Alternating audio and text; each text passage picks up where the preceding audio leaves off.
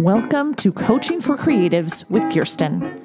My name is Kirsti Call. I'm a therapist trained life coach and a children's book author. Together, we'll get the drama out of our lives and onto the page. Let's get started. You are listening to episode 11 Difficult Conversations. Recently ish, I had a very difficult conversation with one of my editors. If I had cleaned up my thoughts before sending an email to my agent, I would have avoided the most embarrassing moments of my life. But I didn't. After getting some edits for the book, edits, of course, I didn't agree with, I sent a panicked email to my agent. Not only was the email panicked, but it was also quite dramatic. After I took a few breaths, I wrote a calm and collected email to the editor where I said, Can we please set up a meeting to talk about the edits? Unfortunately, that calm and collected email had my panicked email to my agent nested beneath. when my editor saw that email, she responded as any human being or editor who has been criticized might respond. My stomach dropped to my knees. I thought I might vomit. I already needed to have a difficult conversation with this editor to help them see my point of view and why I wanted certain words to say exactly as they were. But my inadvertent escalation of the situation made this difficult conversation an even more difficult conversation. After apologizing profusely by email and then on Zoom and trying to explain my dramatic response to the edits, we had a very cordial and friendly and actually connecting conversation. In fact, my editor admitted they had a very similar experience to me, where they were the one who wrote the panicked email that was seen by the wrong party. Difficult conversations are a necessary part of life. We all have them or need to have them.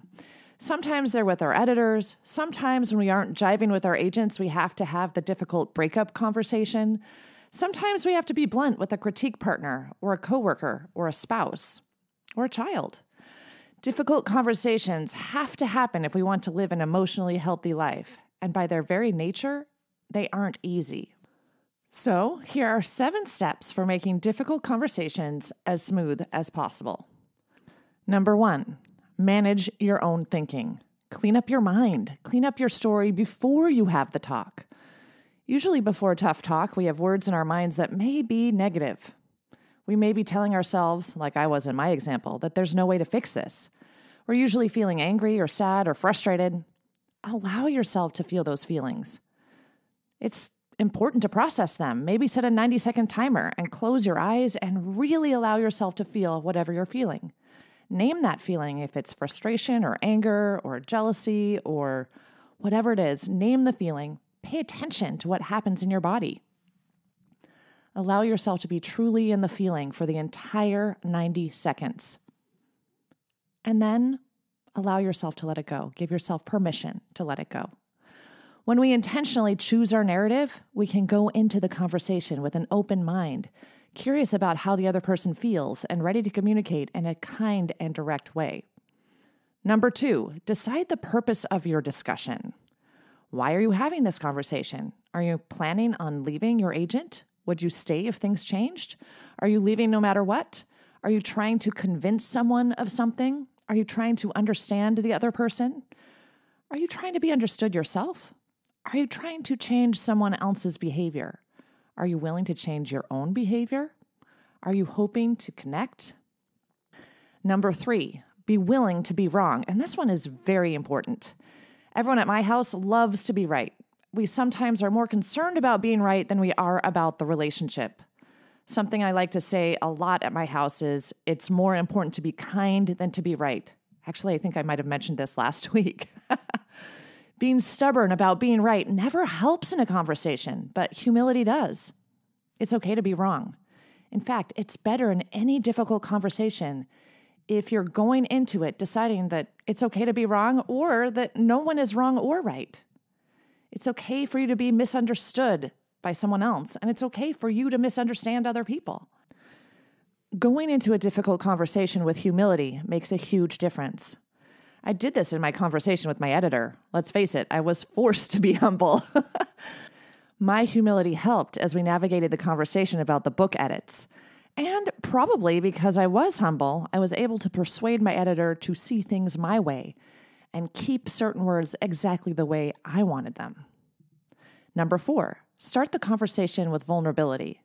When we admit something is hard, it's easier for someone else to listen. Maybe say something like, I have something to talk to you about. It might be hard for you to hear, and it's also really hard for me to say. Share your experience in an authentic and open way, expressing how you feel, not how the other person has wronged you. Number five, listen to the other person. Be genuinely curious. When you really want to understand someone else, they can feel it. What they say may trigger defensiveness. If you feel defensive, then something inside you agrees with them a little. If you aren't triggered, it's because you know what they are saying isn't true. I recently heard an interview of Dolly Parton where she said blonde jokes don't bother her at all. Because, first of all, she knows she's not dumb. And she also knows she's not blonde. it's like someone saying, I hate your straight hair. That wouldn't hurt me at all because my hair is curly. Whether you agree with the other person or not, listen to the other person, look them in the eyes. This leads to number six, which is very similar but a little bit different. Let the other person know that you hear them. It's not enough to just listen. Make it clear that you're hearing what the other person says. Maybe even say, I hear you, even if you don't agree. And if you do agree a little, you can say, I can see where you're coming from. Truly listening to understand makes all the difference in a difficult conversation. Number seven, you get to feel however you want to feel. I'm going to say that again. You have the power to think and feel whatever you want to think and feel. You have a choice to distance yourself from someone, or you have the choice to communicate. Recognize you are two different people with different sentences in your brains. Difficult conversations are about communication and connection. Difficult conversations are worth it. Relationships are worth it. Connection is worth it. And you are worth it. Be dauntless in your difficult conversations. Until next time, keep smiling. If you like what you've heard, check out my Get Yourself Unstuck program.